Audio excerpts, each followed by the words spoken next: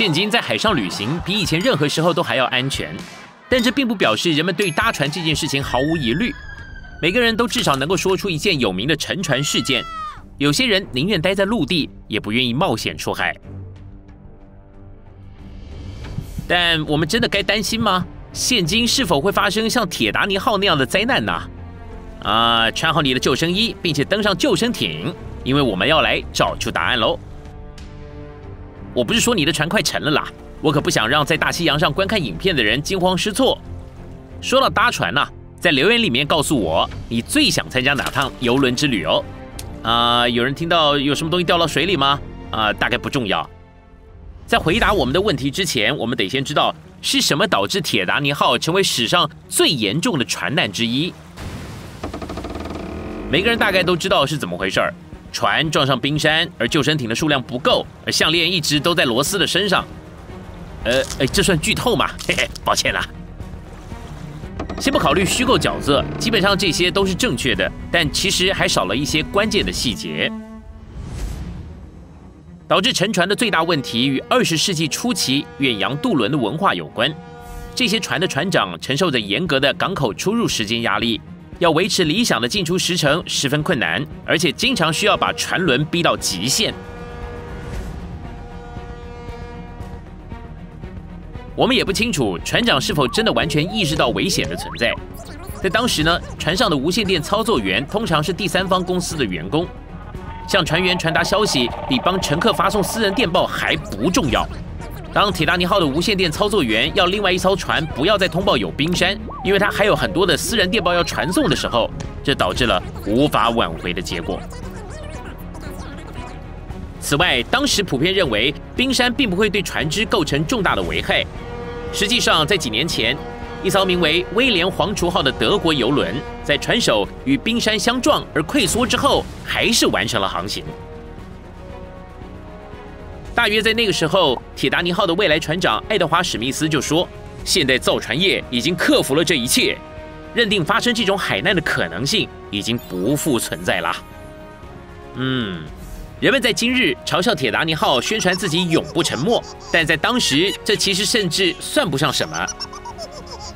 不知道是什么原因，史密斯船长选择全速前进，他确实有命令铁达尼号的瞭望手注意冰山。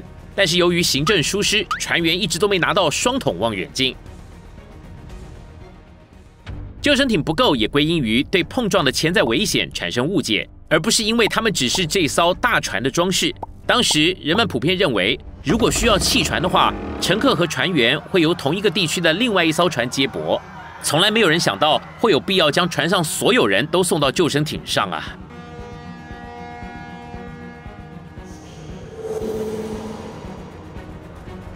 这也能够解释为什么疏散的时候相当的混乱，而许多救生艇甚至还没有载满人呢。尽管这是相当大的疏失，但如果有人及时接听了遇难电话，那原来的计划可能会成功。是这样的，在一九一二年，船上还不需要有人全天操作无线电，这代表当遇难电话响起来的时候，离他最近的加州人号那位被铁达尼号要求闭嘴的无线电操作员正在睡觉。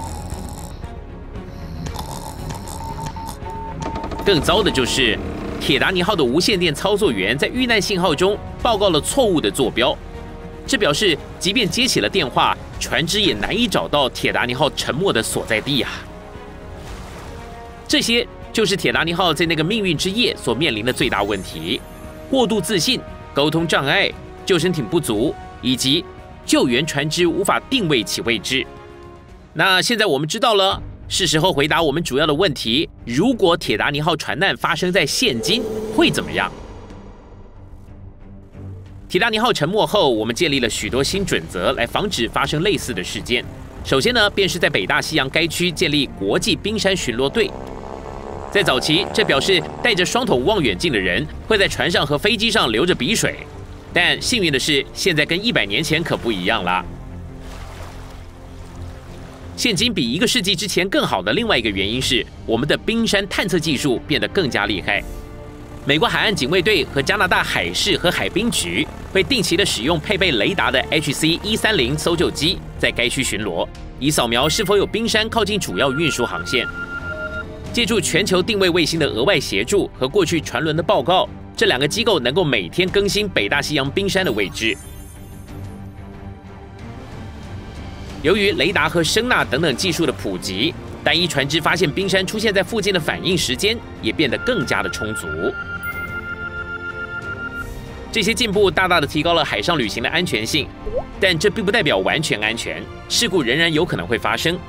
因此，现今会要求大型船只为船上提供数量足够的救生艇，而且船员还会接受疏散流程的相关培训。现代的船只还必须拥有全天无线电操作员。这样做有几个好处，其中之一就是没人想成为错过遇难电话的人。加州人号的船长因为错过了铁达尼号的电话而被开除，他甚至没有违反任何规定啊！紧急无线电求救的标准化程度已经远远的超过了一九一二年的水准。此外呢，如果船只需要救援，GPS 定位能够告诉救难队准确的位置。救援工作也比二十世纪初期更加有效率。海岸警卫队会维护各种紧急车辆，从小型的船只到直升机，到大型的船只，还有飞机。他们还能够协调与该区的其他民用和军用船轮，并且派遣救援。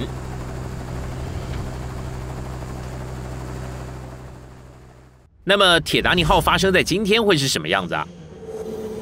嗯，一个很好的例子可能是发生在二零一二年的。哥斯达协和号的船难，当然，这起沉船的事故发生在地中海的温暖水域，而哥斯达协和号撞击的是岩石而不是冰山，但其产生的相似灾情可以进行一些比较。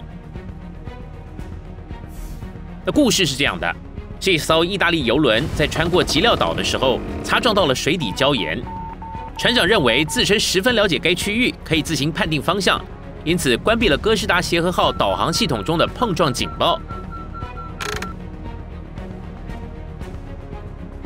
后来还发现该船还有许多影响因素，例如船长的女友也在场。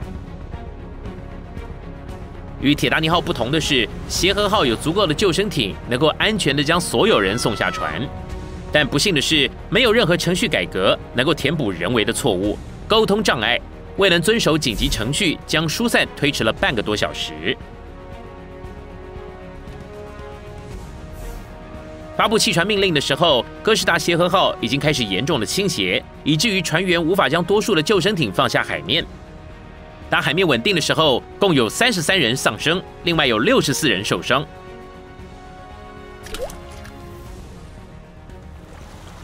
虽然这么糟，但哥斯达协和号擦撞的地点为乘客和船员带来了许多预料外的帮助。首先。事故发生的时候，他们就在陆地附近。这表示一旦船长送出求救信号，救援很快就会到达。实际上，有许多乘客在救生衣的帮助下，直接就游到了岸边了。